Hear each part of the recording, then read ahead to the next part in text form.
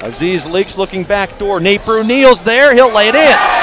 Three on the way. Banked it. No. Offensive rebound for Leaks with a left hand. Stuck it home, and the Coyotes have the lead. Man pressure. He'll attack the basket. Little turnaround. Left hander score. Outside the arc.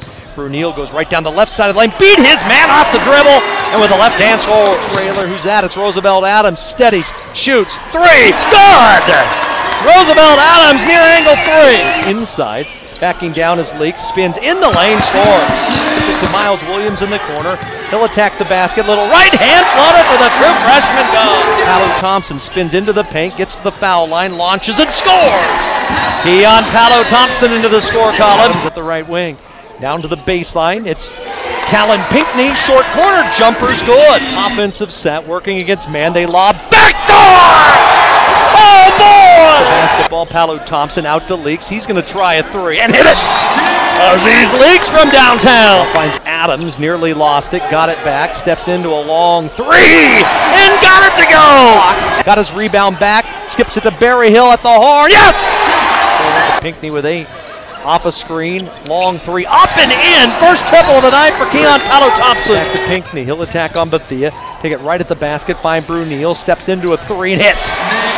Nate Brunel, corner three. He's got Tim's. Bad hand and all catches near corner. He'll put the three up and hit it.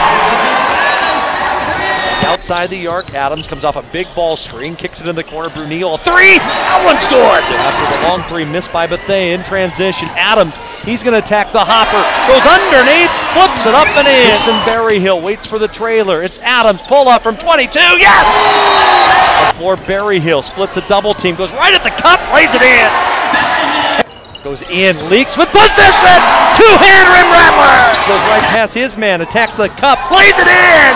Pulls up, long J, no. Donovan, the putback. Roosevelt Adams into leaks, bodies up, dunk for Aziz Leaks on the low block to get himself another double-double. The lob nearly taken away by the Coyotes. It is stolen by Keon Paolo Thompson in backcourt, and he will take it coast to coast for two. Nate Brunel now into the hands of Pinckney. He'll split a double team, little floater in traffic. No, but the tap is good inside. Comes off a Leaks pick. He'll drive all the way in with a left hand. Bake it home. Cascade Conference. Paolo Thompson leaks long three up. In! That gets some sandwiches for the fan. How about them Coyotes? Finally home after nearly a month off, and they rout Warner Pacific.